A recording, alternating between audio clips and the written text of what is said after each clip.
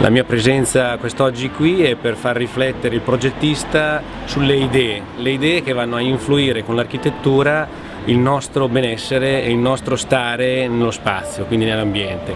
Il discorso del green building e dell'ecocompatibilità è per noi una cosa importantissima che cerchiamo di sollecitare sempre più spesso per chi e da chi fa progetto.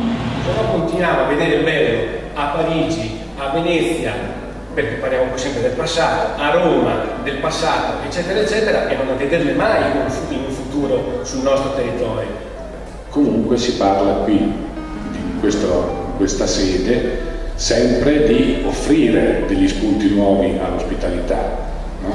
a un'ospitalità che è un mestiere per i nostri luoghi. Che, qual è l'ospitalità che può offrire un posto come la Romagna che ha esaurito per certi aspetti la sua funzione di turismo di massa legato al mare, legato al, al prezzo basso, al divertimento sull'oceano, a tutta una serie di cose che non, ognuna di esse ha un valore, perché oggi ha valore la vacanza economica, ha valore essere accolti bene, ha valore poter fare una cosa velocemente, ha valore tutto e allo stesso tempo manca una connessione. Nell'ambito dello Sparkling Festival ci è venuto a trovare Jimmy Baldinini, designer di moda e calzature, eh, Jimmy, posso chiederti mm. che cos'è il design per te? È la mia vita, io sempre fatto questo. Quindi... Il design infatti unisce eh, tante eccellenze nel nostro territorio, il territorio che intendo tra quello di Pesaro Urbino, quello di Rimini, il design qui nel Riminese, moda, calzature, eh, arredamento. A Pesaro c'è la vocazione diciamo, già espressa da tanti anni dei cucinieri, eh, dei mobilifici, quindi il design abbraccia tante tante situazioni, perché oggi voglio chiamarle situazioni, non sono più prodotti, sono momenti di vita. Noi attraverso i prodotti, attraverso le cose che abbiamo, i contesti in cui viviamo, siamo in delle situazioni che ci fanno emozionare più o meno. E comunque si tratta di lifestyle, si tratta di stili di vita, di modi di vivere ed è per questo che oggi il convegno si chiama Design Lifestyle.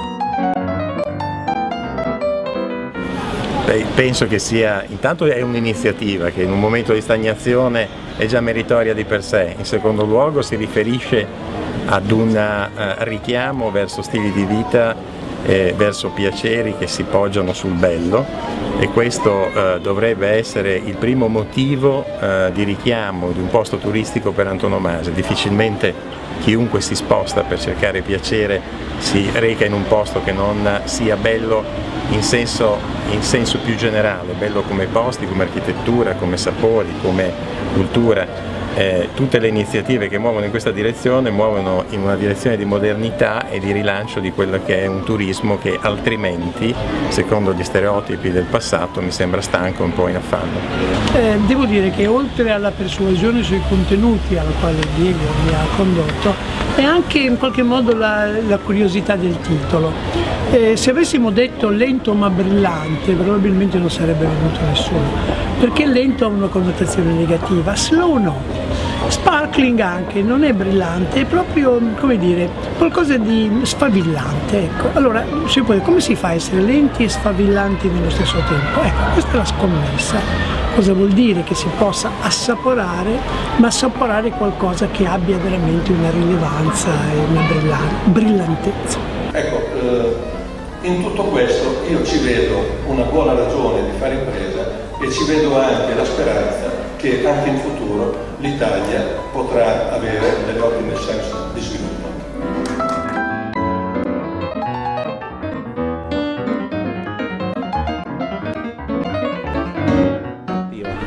Ma io credo che siamo in un momento in cui vince chi ha più idee. Questa è un'idea brillante, è un'iniziativa che fa ragionare il territorio su, su tutte quelle che sono le eccellenze di questo territorio, le eccellenze della diciamo della parte della Romagna più bassa, più a sud e della parte delle Marche più a nord. È un'idea dove è stata trasportata anche perché queste iniziative sono itineranti. Ieri c'è stata un'iniziativa, un'iniziativa a Gradara che ha visto i protagonisti e molti comuni della provincia di Pesaro Urbino, anche con i loro prodotti e con le loro tipicità. Sicuramente questo alimenta anche poi le attività come Volano, eh, diciamo, moltiplicatore perché alimenta anche quelle che sono le attività del turismo, le presenze sul nostro territorio, la possibilità di, visare, di visitare i nostri centri storici che sono straordinari e quindi plaudo a lei Diego che ha promosso questa Grazie. iniziativa. Eh, qualsiasi cosa si faccia o si prenda di iniziativa è ben, è ben accetta e benvenuta. Dobbiamo cercare di intercettare una domanda. Innanzitutto grazie a te per, questa, per questo evento che hai voluto creare, questo momento di incontro, di confronto di intelligenze senza mettere confini fra una provincia e l'altra, una regione e l'altra. Sostengo che l'Italia è tutt'una e che figuriamoci se possiamo andare a fare una divisione a così brevi chilometri l'uno dall'altro cercando di creare delle divisioni. Si propone un territorio, il territorio del Montefeltro con la sua naturale così, evoluzione verso il mare, che poi sia la Romagna che siano le Marche, non penso che abbia grandi distinzioni. Ecco questo momento qui di incontro di, di persone che operano nel turismo e nel mondo della comunicazione non può altro che far bene far capire che anche qui ci sono delle grosse opportunità di crescita ed opportunità del futuro per degli investimenti. Ritengo fra l'altro che il turismo sia, come poi avrò modo di spiegare meglio se mi sarà data l'occasione in questo momento di questo convegno qui al Palazzo del Turismo di Cattolica, che il turismo non è delocalizzabile.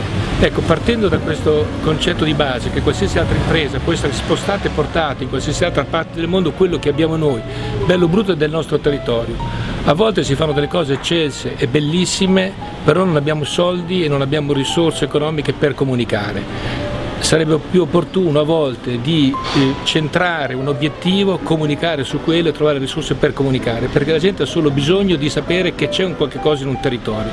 Dobbiamo andare ad intercettare questa domanda che è vacante, che ha bisogno di essere intercettata ed essere guidata. Quindi complimenti a Diego per questa iniziativa, spero che abbia un proseguo nel futuro e avrà tutto il supporto, penso, dalle istituzioni, come ha detto poc'anzi il Presidente della Camera di Pesaro, il Dottor Drudi e anche penso che le imprese private ed Enviaggi in primis lo affiancherà in futuro nello sviluppo di questa iniziativa.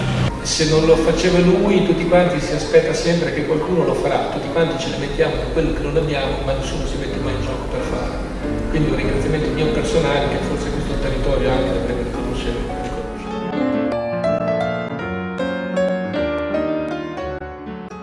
Poi giustamente, come ha detto Diego, io lo ringrazio per avermi chiamato e poi faccio subito i complimenti per questo accostamento che può sembrare a prima vista azzardato fra Rossini e Fellini ed è giusto, e anche il titolo di questo convegno, vedere fra Pesaro cattolica, come diceva prima Marco Gaudenzi, una sorta di provincia allargata, sia per ragioni storiche sia per ragioni culturali e questo penso che sia una prerogativa di questo territorio.